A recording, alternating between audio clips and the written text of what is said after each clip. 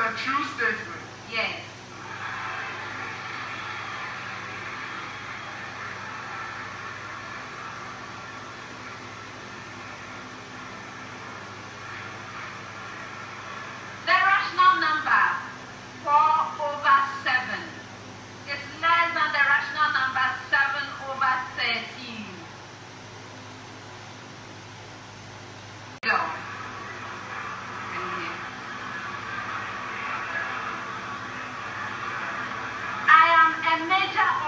information process in statistics.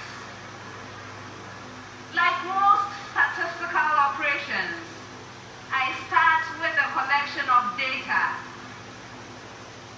In my case, this is usually at the national level. I involve collection of information from